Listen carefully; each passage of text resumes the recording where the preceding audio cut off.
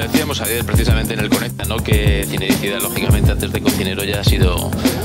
ha, sido fraile, ¿no? Con lo cual sabe perfectamente lo que se necesita en cada momento y además una circunstancia muy especial, ¿no? Que mejor que Zidane, que ha sido futbolista de máximo nivel, de máxima exigencia, que prácticamente desde que se pone el pantalón corto ha estado obligado y con la presión de tener que ganar absolutamente todo para conocer y saber cómo tiene que tratar, qué tiene que decir a cada futbolista y más en el Real Madrid que desde el primer día que empieza la competición están obligados a pelear y a ganar o intentar ganar absolutamente todos los títulos, ¿no? Pero eh, lo que se refiere, por ejemplo, a las imágenes que veíamos en cuanto a tres eh, futbolistas particulares, el caso de Nacho, el caso de Luca Modric e incluso Casemiro, eh, evidentemente ha sacado una rentabilidad máxima en estos futbolistas, sabiendo cómo el Real Madrid, por ejemplo, se desenvuelve en las jugadas de estrategia, las jugadas a balón parado, el alto potencial que tiene y la efectividad, ¿no? Con jugadores como Nacho, en ese caso, que hace un año se suma al ataque para rematar un saque de esquina y conseguir el gol de la victoria a favor del Real Madrid. En otras ocasiones lo hemos visto recientemente el caso de Rafael Barán, Sergio Ramos que es el máximo exponente,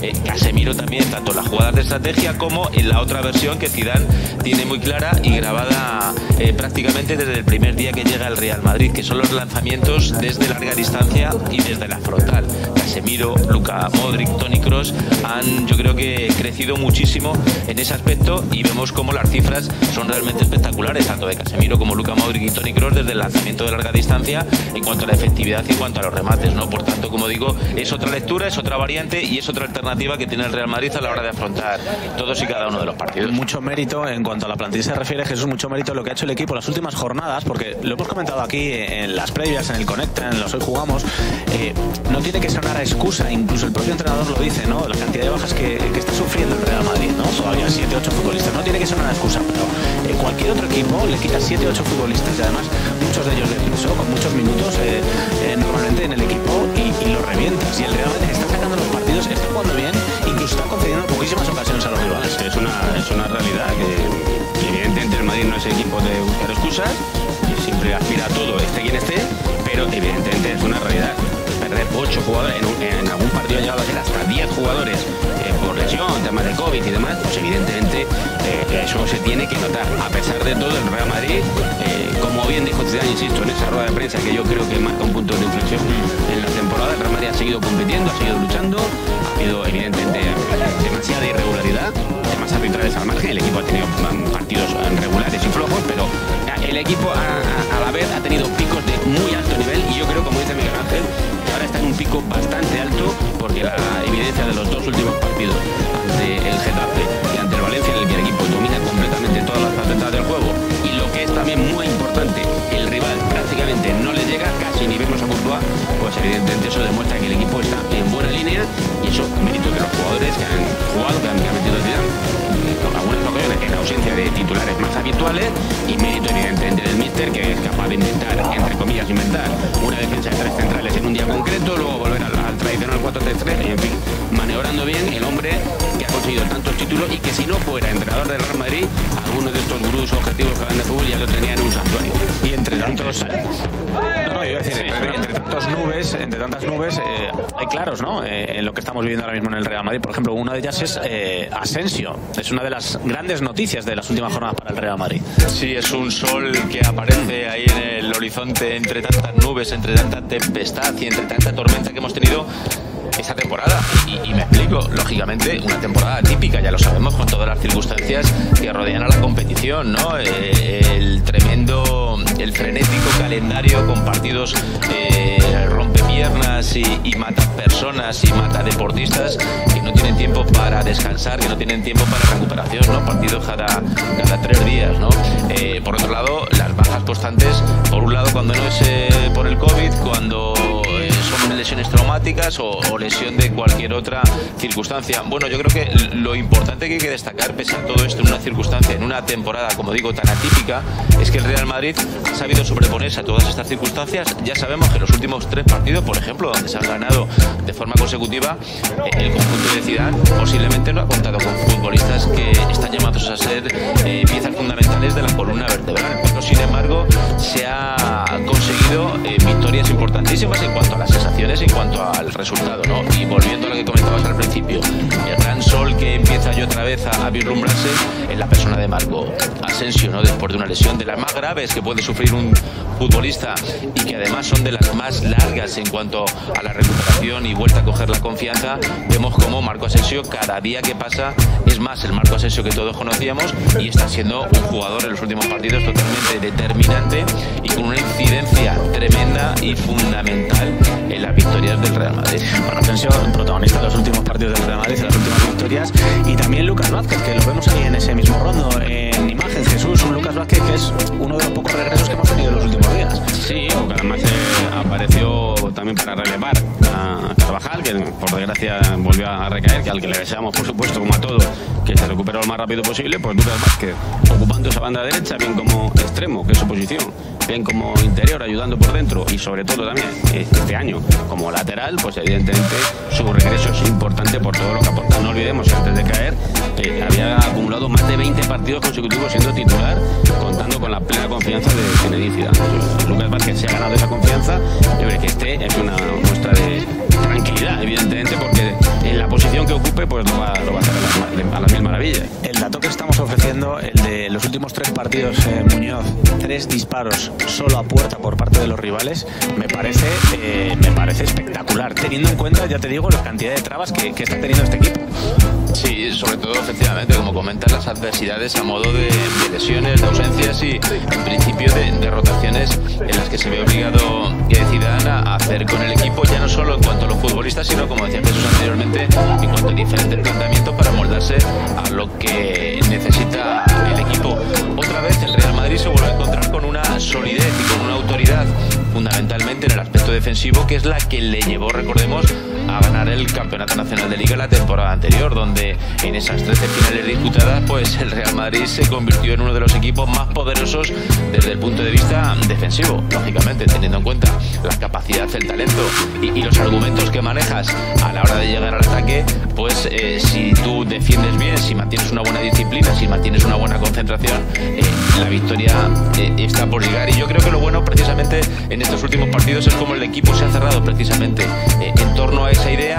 cómo se cierran los espacios, cómo no se le permite al rival prácticamente eh, generar una ocasión de peligro. Y es que más allá de los goles que tú puedas recibir, lo más importante es eso, que el equipo rival prácticamente no genera ocasiones de peligro. El equipo de rival de mañana es el Valladolid, que decía antes está decimoctavo, 21 puntos, 4 victorias, 9 empates, 10 derrotas, el conjunto de Sergio. Y bueno, hombre, eh, sería muy, muy extraño que mañana quisiese jugar de tú a tú al Real Madrid. Vamos a ver a un Valladolid, yo creo que encerrado en su campo, ¿no? Sí, porque además el equipo, hay que decirlo así, no está bien, eh, está atravesando una te- época no muy buena de resultados, lleva seis partidos consecutivos sin ganar, tres, tres, perdón, tres derrotas y tres empates, incluso ha perdido ante rivales directos, le hizo mucho daño perder 1-3 en casa con el Huesca, que, que sigue siendo colista, pero evidentemente ante el Madrid el ánimo va a ser mm, el de siempre ante un equipo ante el, ante más grande, eh, el Valladolid va a salir muy motivado, pero entiendo que Sergio tendrá su prudencia, adoptará medidas de prudencia, de, estar refugiado atrás, esperar a una situación de, de contra para, porque no creo que le, no le veo al Valladolid tratando de tú a tú. Eso sí, una vez dicho eso, lo comentábamos el otro día, el Madrid ante el Valladolid en los últimos partidos es un empate en el, en el- este, fue todavía en el Bernabéu,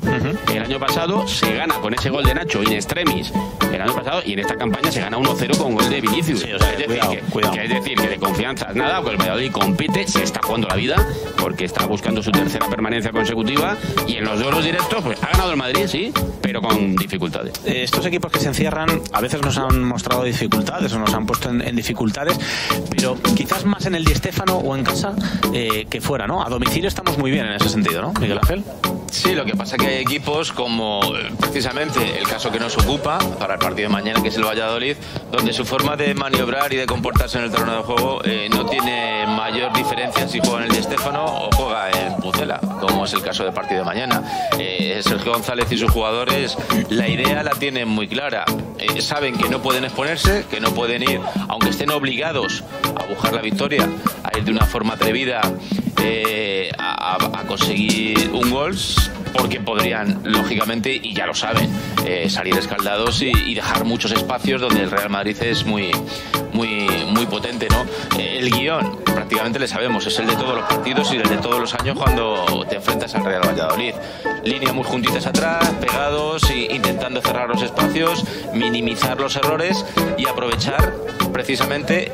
el posible error, la, una posible eh, desconexión, un, posible mal pase que del Real Madrid para armar un contragolpe. El partido hay que madurarlo con mucha calma, con mucha paciencia, cocinarlo a fuego lento y esperar a que poco a poco vayan llegando las ocasiones. Porque si te expones de forma atrevida, si arriesgas, eh, el Valladolid en cualquier momento te puede robar un balón, armar una contra y luego ellos, ya te digo, su fortaleza eh, va a ser el encerrarse atrás y el intentar que no haya resquicios y huecos por los que el Real Madrid pueda combinar e intentar que, que no haya fluidez en el ataque, que no haya buena circulación y rápida circulación de balón por parte Real Madrid. Pero buscando esa iniciativa desde los primeros minutos, algo que nos faltó en algunos partidos hace, hace semanas y que hemos vuelto a recuperar, ¿no? Esa rotundidad, esa seriedad eh, que nos recuerda bastante al Madrid de eh, la etapa post-confinamiento, de los 11 partidos consecutivos. Estoy, estoy contigo, Álvaro. Eh, el partido ante el Getafe y sobre todo, sobre todo el del Valencia, yo creo que marca un poco, es la fotocopia de lo que hizo este Real Madrid, campeón de liga,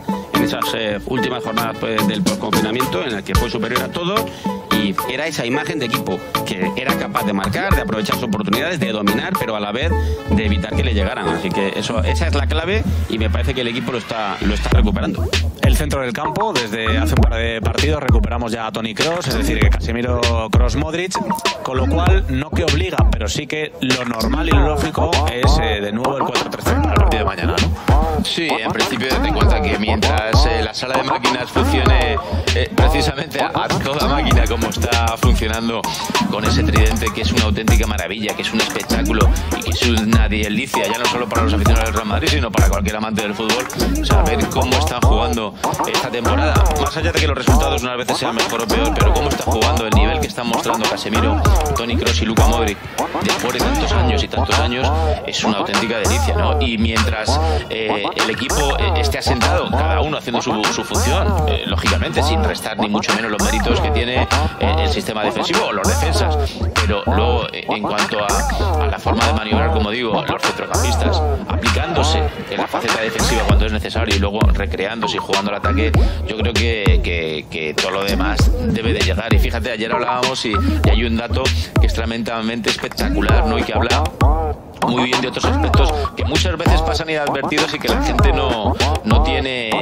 no tiene referencia de lo que realmente está sucediendo. Todos sabemos y estamos acostumbrados a que Casemiro es el futbolista eh, posiblemente de toda Europa que más balones recupera, que, que, eh, que más importante es en esa labor eh, en el centro del campo. Pero sin embargo hay unas estadísticas ahora mismo que dicen que Luka Modric, por ejemplo, tiene 129 recuperaciones. el futbolista con más recuperaciones en estos momentos, ¿no? El Liga del Madrid, sí. Claro, entonces estamos hablando de un futbolista que si por algo se caracteriza es por dar el último pase, por la fluidez, eh, porque el balón circule rápidamente, por generar eh, velocidad y, ataque en el equipo y al mismo tiempo resulta que se ha convertido en el auténtico imán a la hora de recuperar todos los balones que pueda tener el rival en cuanto a posicionamiento y en cuanto a inteligencia a la hora de saber posicionarse. Yo no me creo que tenga Jesús 35 años. Eh, alguien, está mintiendo. Nada, no es miente Luquita, es más joven, está, bueno, cuando hablamos de uno de los tres miembros de ese centro de campo de leyenda, pues siempre yo, acabas extendiendo todos los tres. Modric está, que se sale, está al nivel de cuando ganó el balón de oro. Fíjate, pero es que Casemiro y Kroos están en ese. A ese nivel incluso te diría, eh, a mí me parece la mejor temporada de modo, a ver, temporadas, en grandes momentos, pero la mejor temporada así como a regular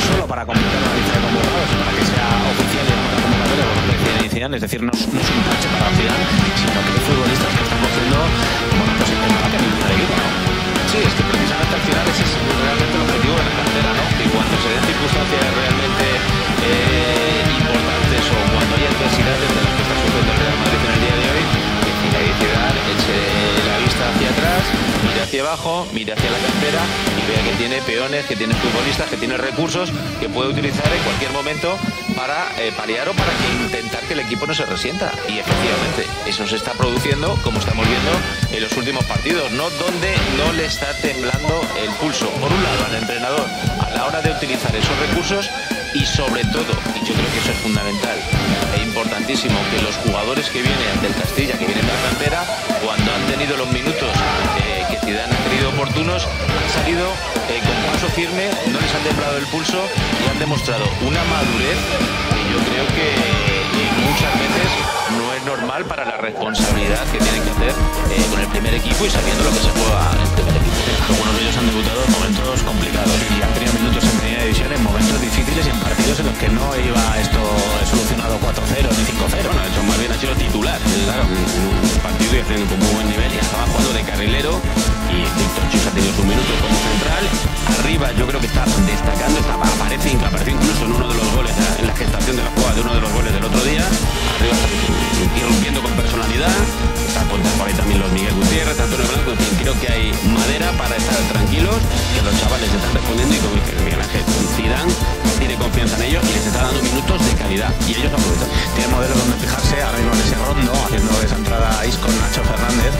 eh, demuestra año tras año el compromiso que tiene con el equipo y da igual en qué momento de la temporada, el partido, el rival, incluso la posición en defensa,